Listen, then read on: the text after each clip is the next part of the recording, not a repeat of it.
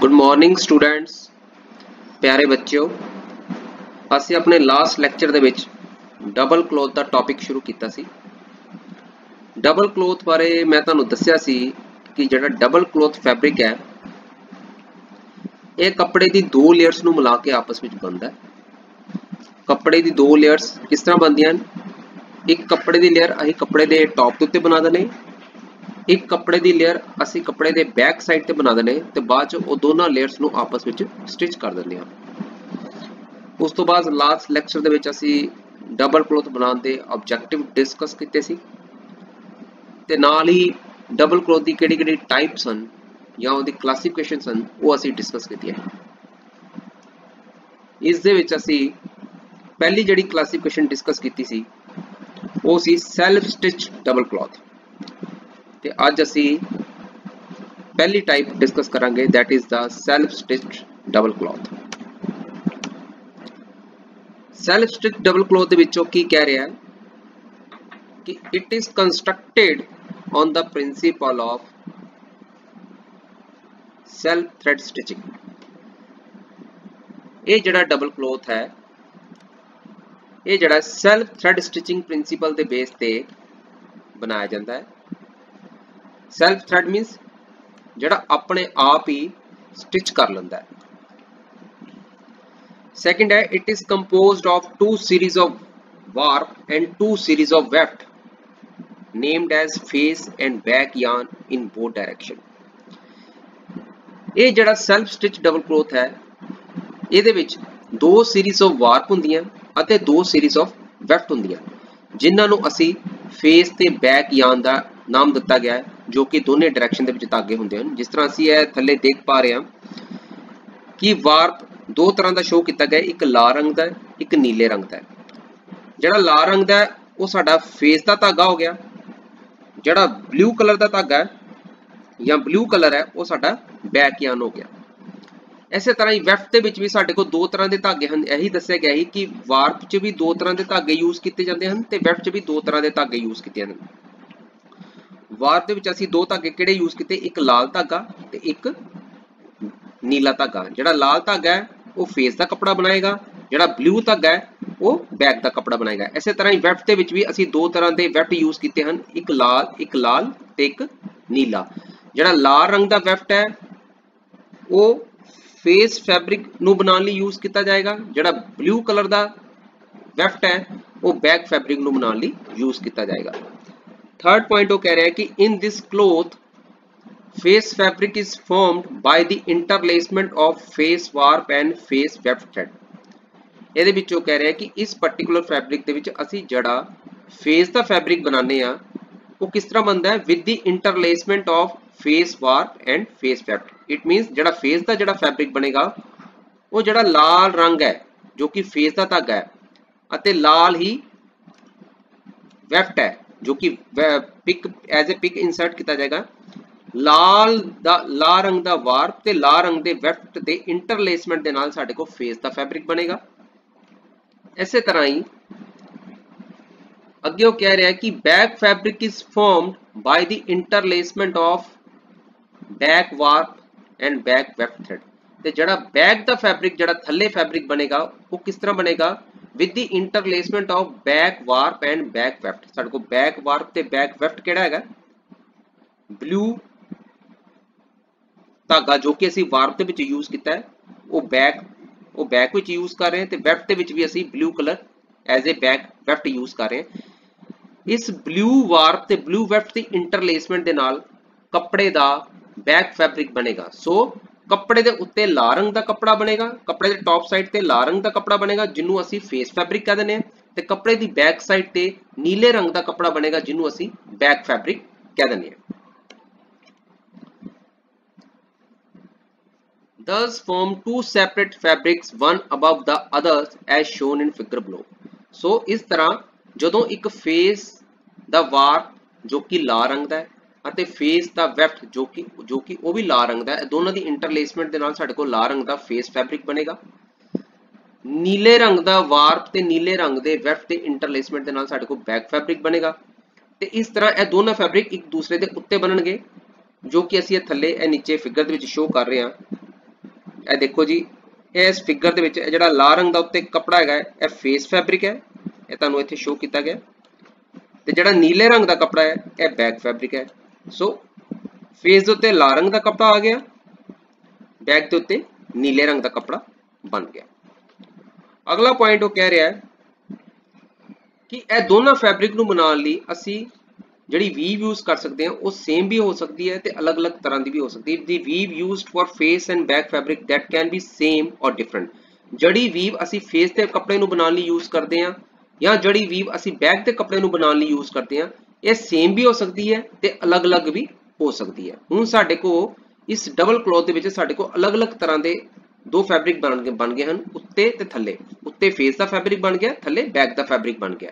But ਇਹ fabric ਹੱਲੇ ਆਪਸ ਵਿੱਚ ਜੁੜੇ ਨਹੀਂ ਹਨ। ਸਾਨੂੰ ਇੱਕ ਡਬਲ ਫੈਬਰਿਕ ਬਣਾਉਣਾ ਹੈ। ਇਹ ਹੱਲੇ ਫੈਬਰਿਕ ਦੋਨੇ ਅਲੱਗ-ਅਲੱਗ ਹਨ ਅਲੱਗ-ਅਲੱਗ ਹਨ ਤੇ ਇਹਨਾਂ ਨੂੰ ਜੋੜਨਾ ਵੀ ਹੈ ਸਟਿਚ ਕਰਨਾ ਹੈ। ਉਹ ਸਟਿਚ ਅਸੀਂ ਕਿਸ ਤਰ੍ਹਾਂ ਕਰ ਸਕਦੇ ਹਾਂ? ਉਹ ਕਹਿੰਦਾ ਪਿਆ, ਕਹਿੰਦਾ ਥੀਸ ਟੂ ਸੈਪਰੇਟ ਫੈਬਰਿਕਸ ਜਿਹੜਾ ਫੇਸ ਤੇ ਬੈਕ ਦਾ ਫੈਬਰਿਕ ਸਾਡੇ ਕੋਲ ਬਣ ਗਿਆ, ਉਹ ਹੱਲੇ ਅਲੱਗ-ਅਲੱਗ ਹਨ। these two separate fabric can be stitched either by, ਉਹਨਾਂ ਨੂੰ ਅਸੀਂ ਕਿਸ ਤਰ੍ਹਾਂ ਸਟਿਚ ਕਰ ਸਕਦੇ ਹਾਂ by raising some back ends on face pick known as var stitching.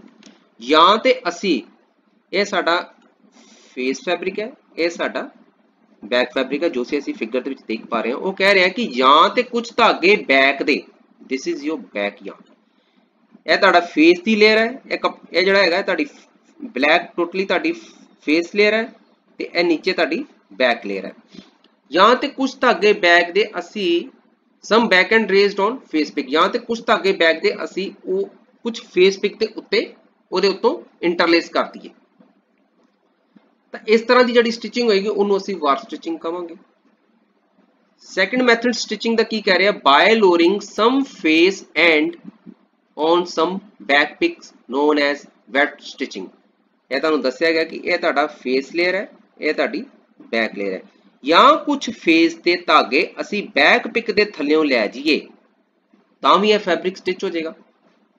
ਤੀਜਾ ਮੈਥਡ ਇਹ ਕਹਿ ਰਿਹਾ or by combining both above stitching method ਜਾਂ ਅਸੀਂ ਦੋਨਾਂ ਮੈਥਡ ਜਿਹੜੇ ਅਸੀਂ ਉੱਤੇ ਡਿਸਕਸ ਕੀਤੇ ਨੇ ਜਾਂ ਉਹਨਾਂ ਦੋਨਾਂ ਨੂੰ ਕੰਬਾਈਨ ਕਰਦੀ ਦਈਏ ਕਿਸ ਤਰ੍ਹਾਂ? ਇਹ ਪਹਿਲੇ ਇਸ ਪੁਆਇੰਟ ਤੇ ਦੇਖੋ। ਇੱਥੇ ਕੀ ਕੀਤਾ ਗਿਆ? ਕੁਝ ਫੇਸ ਦੇ ਧਾਗੇ ਬੈਕ ਪਿਕ ਦੇ ਥੱਲੇੋਂ ਲੈ ਗਏ ਨੇ। ਸੈਕਿੰਡ ਦੇ ਵਿੱਚ ਕੁਝ ਫੇਸ ਦੇ ਧਾਗੇ ਕੁਝ ਬੈਕ ਦੇ ਧਾਗੇ ਫੇਸ ਪਿਕ ਦੇ ਉੱਤੋਂ ਲੈ ਗਏ ਨੇ। ਪਹਿਲੀ ਵੀ ਆ ਗਈ, ਦੂਸਰੀ ਆ ਗਈ। ਫਿਰ ਕੁਝ ਫੇਸ ਦੇ ਧਾਗੇ ਬੈਕ ਪਿਕ ਦੇ ਥੱਲੇ ਲੈ ਗਏ ਨੇ। ਫਿਰ ਅੱਗੇ ਕੁਝ ਬੈਕ ਦੇ ਧਾਗੇ ਫੇਸ ਪਿਕ ਦੇ ਉੱਤੋਂ ਲੈ ਗਏ ਨੇ।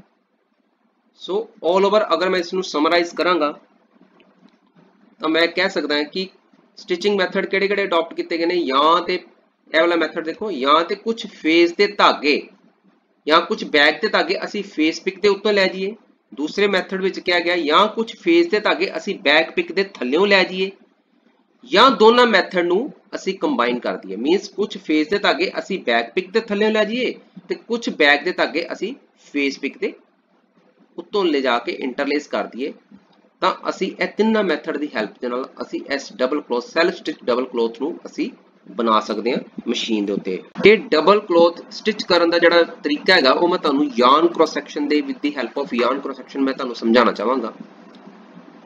ਇਸ ਟੋਟਲ ਯਾਨ ਕ੍ਰੋਸ ਸੈਕਸ਼ਨ ਨੂੰ ਸਰਟਨ ਸਟੇजेस ਦੇ ਵਿੱਚ ਵੰਡਿਆ ਗਿਆ। That is your A,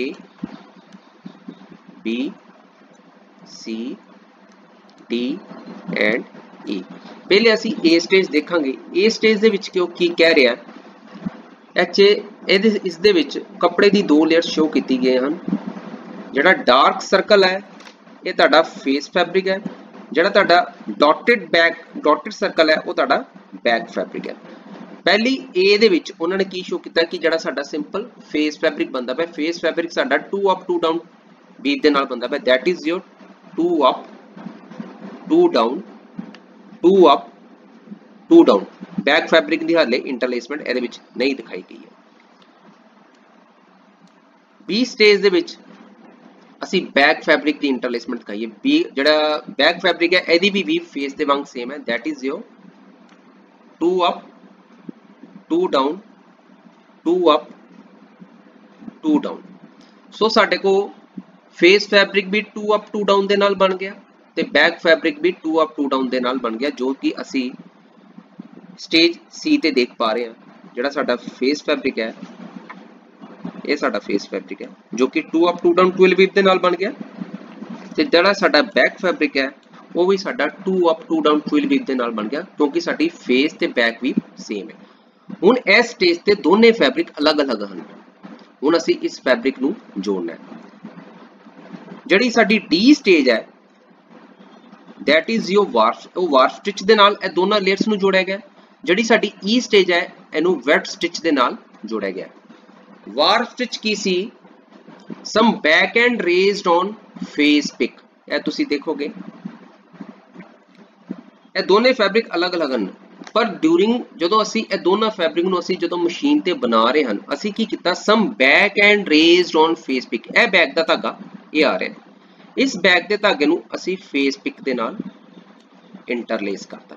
ਇੱਕ ਸਟਿਚਿੰਗ ਇੱਥੇ ਦੇਤੀ, ਇੱਥੇ ਸਿੰਪਲ 2 ਡਾਊਨ ਫਿਰ ਇੱਕ ਸਟਿਚਿੰਗ ਇਸ ਪੋਜੀਸ਼ਨ ਤੇ ਦੇਤੀ। ਵਾਰਪ ਸਟਿਚਿੰਗ ਇਹੀ ਸੀ some back end raised on face pick ਇਹ ਬੈਕ ਦਾ ਧਾਗਾ ਆ ਜੋ ਕਿ ਫੇਸ ਪਿਕ ਤੇ ਉੱਤੋਂ ਲੰਘ ਗਿਆ। ਇੱਕ ਸਟਿਚਿੰਗ ਇੱਥੇ ਦੇਤੀ ਤੇ ਇੱਕ ਸਟਿਚਿੰਗ ਇਹ ਥਰਡ ਸਟੇਜ ਤੇ ਦੇਤੀ। ਜਾਂ ਤੁਸੀਂ ਇਹ ਵਾਲਾ ਮੈਥਡ ਲੈ ਸਕਦੇ ਹੋ। That is your warp stitching ਹੁਣ ਥਰਡਲਾ ਮੈਥਡ ਹੈ wet stitching wet stitching ਕੀ ਸੀ some face and lowered on back pick ਹੁਣ ਤੁਸੀਂ ਦੇਖੋਗੇ ਆਹ ਫੇਸ ਦਾ ਧਾਗਾ ਸੋਲਿਡ ਇਹ ਫੇਸ ਦਾ ਧਾਗਾ ਸੀ ਬੈਕ ਪਿਕ ਦੇ ਥੱਲੇੋਂ ਲੈ ਗਏ ਇਹ ਅੱਗੇ ਫੇਰ ਸੇਮ ਰੱਖਿਆ ਤੀਜੀ ਸਟੇਜ ਤੇ ਫੇਰ ਫੇਸ ਦਾ ਧਾਗਾ ਸੀ ਬੈਕ ਪਿਕ ਦੇ ਥੱਲੇੋਂ ਲੈ ਗਏ ਸੋ ਸਾਡਾ ਇਹ ਫੈਬਰਿਕ ਵੈਟ ਸਟਿਚਿੰਗ ਦੇ ਨਾਲ ਵੀ ਸਟਿਚ ਹੋ ਜਾਏਗਾ ਕੁਝ ਨਹੀਂ ਗਾਇਜ਼ ਦੇ ਵਿੱਚ ਪਹਿਲੇ ਅਸੀਂ ਇਸ ਸੈਲਫ ਸਟਿਚ ਡਬਲ ਕਲੋਥ ਦੇ ਵਿੱਚ ਫੇਸ ਦੀ ਵੀਵ ਲੈਣੀ ਹੈ। ਫੇਸ ਦੀ ਵੀਵ ਅਸੀਂ ਇਸ ਯਾਨ ਕ੍ਰੋਸ ਸੈਕਸ਼ਨ ਵਿੱਚ 2 ਅਪ 2 ਡਾਊਨ ਲਈ। ਦੈਟ ਇਜ਼ ਇਹ ਫੇਸ ਵੀਵ ਹੈ। 2 ਅਪ 2 ਡਾਊਨ ਬੀ ਸਟੇਜ ਦੇ ਵਿੱਚ ਅਸੀਂ ਬੈਕ ਦੀ ਵੀਵ ਭਰੀ, ਉਹ ਵੀ 2 ਅਪ 2 ਡਾਊਨ ਹੈ। That is 2 up 2 down C stage ਦੇ ਵਿੱਚ ਅਸੀਂ ਦੱਸ ਰਹੇ ਹਾਂ ਕਿ ਦੋਨੇ ਫੈਬਰਿਕ ਅਲੱਗ-ਅਲੱਗ ਫੈਬਰਿਕ ਬਣ ਗਏ ਹਨ, ਜੋ ਕਿ ਦੋਨਾਂ ਦੀ ਵੀਵ ਸੇਮ ਹੈ। That is 2 up 2 down face weave the face face weave ਤੇ ਹੈ ਤੇ 2 up 2 down same weave back weave ਤੇ ਹੈ। ਸੋ ਉੱਤੇ ਵੀ ਫੈਬਰਿਕ ਬਣ ਗਿਆ ਤੇ ਥੱਲੇ ਵੀ ਫੈਬਰਿਕ ਬਣ ਗਿਆ। ਦੋ ਅਲੱਗ-ਅਲੱਗ ਫੈਬਰਿਕ ਬਣ ਗਏ। ਹੁਣ ਇਹਨਾਂ ਨੂੰ ਸਟਿਚ ਕਰਨਾ ਹੈ। ਉਹ ਅਸੀਂ ਵਾਰ ਸਟਿਚਿੰਗ ਦੇ ਨਾਲ ਵੀ ਕਰ ਸਕਦੇ ਹਾਂ ਤੇ ਵੈਟ ਸਟਿਚਿੰਗ ਦੇ ਨਾਲ ਵੀ ਕਰ ਸਕਦੇ ਹਾਂ। ਡੀ ਜਿਹੜਾ ਹੈ, ਉਹ ਦੱਸ ਰਿਹਾ ਹੈ ਕਿ ਅਸੀਂ ਇਸ ਨੂੰ ਵਾਰ ਸਟਿਚਿੰਗ ਦੇ ਨਾਲ ਕਰ ਰਹੇ ਹਾਂ। ਵਾਰ ਸਟਿਚਿੰਗ ਦੇ ਵਿੱਚ ਕੀ ਹੁੰਦਾ ਹੈ? ਉਹ ਚ ਅਸੀਂ ਸਟਿਚਿੰਗ ਕਰਦੇ ਹਾਂ some back end raised on face pick ਆ ਬੈਕ ਦਾ ਧਾਗਾ ਆ ਜੋ ਕਿ ਫੇਸ ਪਿਕ ਦੇ ਉੱਤੋਂ ਲੰਘ ਗਿਆ। ਫਿਰ ਇੱਕ ਤੀਜੀ ਸਟੇਜ ਤੇ ਕਰਤਾ। Some back end raised on face pick ਇਹ ਸਾਡੀ ਹੋ ਗਈ ਵਾਰ ਸਟਿਚਿੰਗ ਜਾਂ ਇਹ ਇਹ ਮੈਥਡ ਨਾਲ ਜੋੜ ਸਕਦੇ ਹਾਂ ਜਾਂ ਨੀਚੇ ਵਾਲਾ ਮੈਥਡ ਜੋ ਕਿ ਵੈਟ ਸਟਿਚਿੰਗ ਹੈ ਉਸ ਦੇ ਨਾਲ ਵੀ ਇਸ ਕੱਪੜੇ ਦੀ ਦੋਨਾਂ ਲੇਅਰਸ ਨੂੰ ਅਸੀਂ ਆਪਸ ਵਿੱਚ ਜੋੜ ਸਕਦੇ ਹਾਂ ਜਾਂ ਸਟਿਚ ਕਰ ਸਕਦੇ ਹਾਂ ਉਹ ਚ ਕੀ ਹੈ ਸਮ ਫੇਸ ਐਂਡ ਆ ਫੇਸ ਦਾ ਧਾਗਾ ਆ ਜੋ ਬੈਕ ਪਿਕ ਦੇ ਥੱਲੇ ਲੰਘ ਗਿਆ ਫਿਰ ਆ ਫੇਸ ਦਾ ਧਾਗਾ ਆ ਜੋ ਬੈਕ ਪਿਕ ਦੇ ਥੱਲੇ ਲੰਘ ਗਿਆ ਸੋ ਇਸ ਤਰ੍ਹਾਂ ਅਸੀਂ ਇਸ ਸੈਲਫ ਸਟਿਚ ਡਬਲ ਕਲੋਥ ਨੂੰ ਮਸ਼ੀਨ ਦੇ ਉੱਤੇ ਅਸੀਂ ਬਣਾ ਸਕਦੇ ਹਾਂ ਤੇ ਮੈਨੂੰ ਉਮੀਦ ਹੈ ਕਿ ਤੁਹਾਨੂੰ ਮੇਰੇ ਦੁਆਰਾ ਇਹ ਸਮਝਾਇਆ ਹੋਇਆ ਸੈਲਫ ਸਟਿਚ ਡਬਲ ਕਲੋਥ ਸਮਝ ਲੱਗ ਗਿਆ ਹੋਵੇਗਾ। ਸੈਲਫ ਸਟਿਚ ਮੈਂ ਤੁਹਾਨੂੰ ਆਲਰੇਡੀ ਦੱਸ ਚੁੱਕਾ ਹਾਂ ਕਿ ਸੈਲਫ ਸਟਿਚ ਉਹ ਜੇ ਸੈਲਫ ਮੀਨਸ ਆਪਣੇ ਆਪ, ਜੋ ਮਸ਼ੀਨ ਤੇ ਜਦੋਂ ਕੱਪੜਾ ਬਣਦਾ ਹੈ, ਕੱਪੜੇ ਦੀ ਦੋ ਲੇਅਰਸ ਬਣਦੀਆਂ ਉਹ ਆਪਣੇ ਆਪ ਹੀ ਦੋਨਾਂ ਲੇਅਰਸ ਨੂੰ ਆਪਸ ਵਿੱਚ ਜੋੜ ਲੈਂਦੀਆਂ ਹਨ। ਜੋੜ ਕਿਸ ਤਰ੍ਹਾਂ ਲੈਂਦੀਆਂ ਹਨ? ਜਾਂ ਥੱਲੇ ਵਾਲਾ ਧਾਗਾ ਉੱਤੇ ਵਾਲੀ ਪਿਕ ਦੇ ਨਾਲ ਇੰਟਰਲੇਸ ਕਰ ਜੇ, ਜਾਂ ਉੱਤੇ ਵਾਲਾ ਧਾਗਾ ਥੱਲੇ ਵਾਲੀ ਪਿਕ ਦੇ ਨਾਲ ਉਹਦੇ ਥੱਲੇੋਂ ਲੰਘ ਜੇ, ਜਾਂ ਇੰਟਰਲੇਸ ਕਰ ਜੇ, ਤਾਂ ਅਸੀਂ ਇਹ ਦੋਨਾਂ ਲੇਅਰਸ ਨੂੰ ਆਪਸ ਵਿੱਚ ਜੋੜ ਸਕਦੇ ਹਾਂ। ਬੱਚਿਓ, ਇਸ ਲੈਕਚਰ ਦੇ ਐਂਡ ਤੇ ਮੈਂ ਤੁਹਾਨੂੰ ਪੰਜਾਬ ਸਰਕਾਰ ਦੁਆਰਾ ਸ਼ੁਰੂ ਕੀਤੀ ਮਿਸ਼ਨ ਫਤਿਹ ਸਕੀਮ ਬਾਰੇ ਦੱਸਣਾ ਚਾਹਾਂਗਾ। ਇਹ ਜਿਹੜੀ ਸਕੀਮ ਹੈ, ਸਾਡੇ ਮਾਨਯੋਗ ਸੀਐਮ ਸਾਹਿਬ ਵੱਲੋਂ ਸ਼ੁਰੂ ਕੀਤੀ ਕੀਤੀ ਗਈ ਹੈ, ਤਾਂ ਕਿ ਅਸੀਂ ਕਰੋਨਾ ਦੀ ਇਸ ਮਹਾਮਾਰੀ ਨੂੰ ਰੋਕ ਸਕੀਏ। ਇਸ ਦੇ ਵਿੱਚ ਉਹਨਾਂ ਵੱਲੋਂ ਕੁਝ ਇਨਸਟਰਕਸ਼ਨ ਦਿੱਤੀਆਂ ਗਈਆਂ ਹਨ। ਉਹ ਕਿਹੜੀਆਂ ਇਨਸਟਰਕਸ਼ਨਸ ਹਨ? ਕਿ ਇੱਕ ਤਾਂ ਸੋਸ਼ਲ ਡਿਸਟੈਂਸਿੰਗ ਦਾ ਪਾਲਣ ਕਰਨਾ। ਮੀਨਸ ਸਾਨੂੰ ਇੱਕ ਦੂਸਰੇ ਤੋਂ 3 ਤੋਂ 4 ਫੁੱਟ ਦੀ ਦੂਰੀ ਬਣਾ ਕੇ ਰੱਖਣੀ ਹੈ। ਦੂਸਰਾ, ਆਪਣੇ ਹੱਥਾਂ ਨੂੰ ਬਾਰ-ਬਾਰ ਧੋਣਾ। ਅਸੀਂ ਕੁਝ ਵੀ ਕਰੀਏ, ਚਾਹੇ ਬਾਹਰ ਜਾਈਏ ਜਾਂ ਘਰ ਆਈਏ, ਤਾਂ ਸਾਨੂੰ ਆਪਣੇ ਹੱਥਾਂ ਨੂੰ ਬਾਰ-ਬਾਰ ਧੋਣਾ ਹੈ। ਹੱਥ ਧੋਣ ਤੋਂ ਬਾਅਦ ਸਾਨੂੰ ਆਪਣੇ ਹੱਥਾਂ ਨੂੰ ਸੈਨੀਟਾਈਜ਼ ਵੀ ਕਰਨਾ ਹੈ। ਸੈਨੀਟਾਈਜ਼ ਕਰਨ ਤੋਂ ਬਾਅਦ ਜਦੋਂ ਵੀ ਅਸੀਂ ਕਿਤੇ ਇਨ ਕੇਸ ਸਾਨੂੰ ਬਾਹਰ ਜਾਣਾ ਪਏ, ਤਾਂ ਆਪਣੇ ਆਪ ਨੂੰ ਮਹੀ ਮਾਸਕ ਪਾ ਕੇ ਬਾਹਰ ਜਾਣਾ ਹੈ। ਮਾਸਕ ਤੋਂ ਬਗੈਰ ਅਸੀਂ ਘਰੋਂ ਬਾਹਰ ਨਹੀਂ ਜਾਣਾ। ਸੋ ਇਹਨਾਂ ਇਨਸਟਰਕਸ਼ਨ ਨੂੰ ਫੋਲੋ ਕਰਦੇ ਇਹਨਾਂ ਹਦਾਇਤਾਂ ਨੂੰ ਫੋਲੋ ਕਰਦੇ ਅਸੀਂ ਕਰੋਨਾ ਦੀ ਇਸ ਮਹਾਮਾਰੀ ਨੂੰ ਰੋਕ ਸਕਦੇ ਹਾਂ, ਤਾਂ ਮੈਨੂੰ ਉਮੀਦ ਹੈ ਕਿ ਤੁਸੀਂ ਪੰਜਾਬ ਸਰਕਾਰ ਦੀ ਇਹਨਾਂ ਹਦਾਇਤਾਂ ਦਾ ਪਾਲਣ ਕਰੋਗੇ ਤੇ ਮੈਨੂੰ ਉਮੀਦ ਹੈ ਕਿ ਤੁਹਾਨੂੰ ਮੇਰੇ ਵੱਲੋਂ ਦਿੱਤਾ ਹੈ ਲੈਕਚਰ ਤੁਹਾਨੂੰ ਅੱਛੀ ਤਰ੍ਹਾਂ ਸਮਝ ਆ ਗਿਆ ਹੋਵੇਗਾ। Thank you